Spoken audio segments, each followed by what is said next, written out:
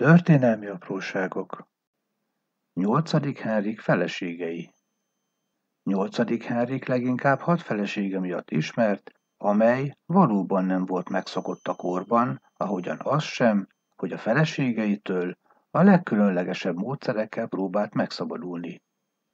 Nézzük, kik voltak a feleségei. Aragóniai Katalin Első feleségét valójában a trónnal együtt örökölte meg Artur Velszi hercegtől, akivel Katalin 1499-ben jelképesen, majd 1501-ben valóságban is házasságot kötött. A gyönyörű Katalin saját bevallása alapján összesen hétszer osztotta meg az ágyat férjével, aki azonban nem ismerte őt meg. Nem sokkal később egy rejtélyes betegségben meghalt Artúr, így Katalin 16 évesen özvegyen maradt. Bátyja helyét így átvette Henrik, aki öt évvel volt fiatalabb Katalinnál. Némi bonyodalmak után Henrik a trónra lépésekor feleségül vette Katalint, aki így angol királyné lett. A házasságukból összesen hat gyermek született, két fiú, akik csak rövid ideig éltek, három halva született kislány, és az egyetlen felnőtt volt megélt gyermek, Mária.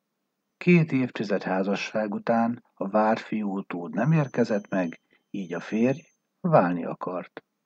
Évekig tartó húzavona után megszületett az anglikán egyház, amelynek a feje az uralkodó lett, így az angol jog szerint már elválhattak, amely meg is történt.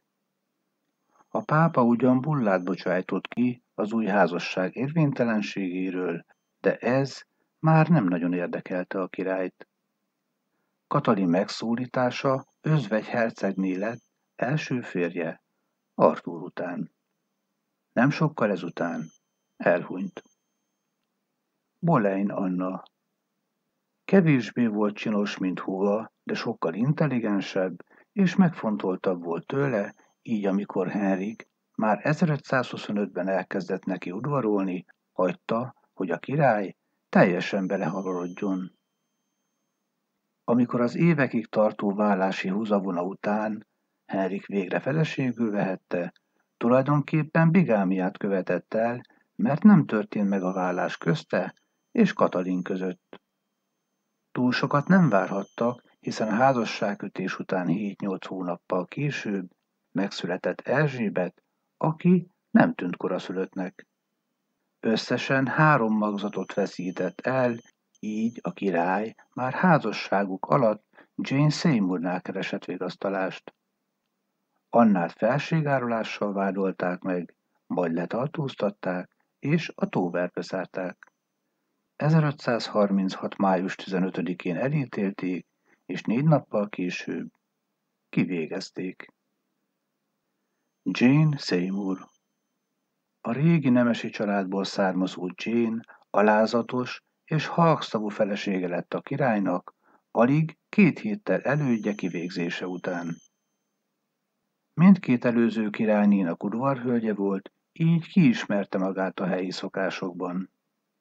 Igyekezett kibékíteni a királyt két lányával, és megadta neki azt, amelyet eddigi két felesége nem tudott.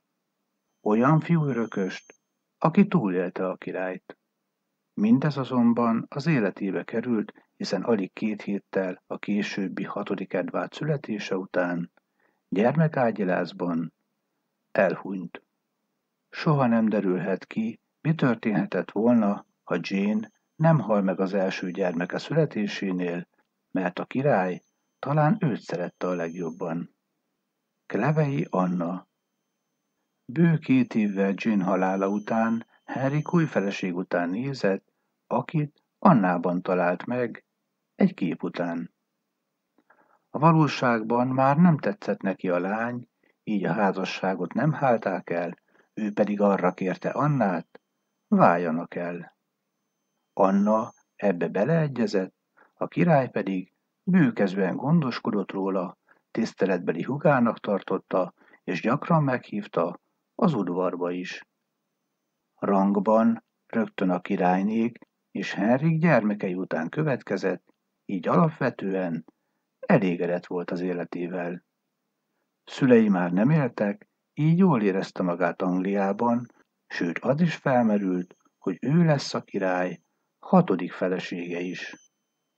Ő halt meg utolsóként Henrik feleségei közül, és ő az egyetlen, akit a Westminster apátságban temettek el. A király barátként és rokonként kezelte élete végéig. Hóvárt Katalin Klevei Anna távozása után Henrik új feleség után nézett, akit Boleyn Anna unokahugában talált meg.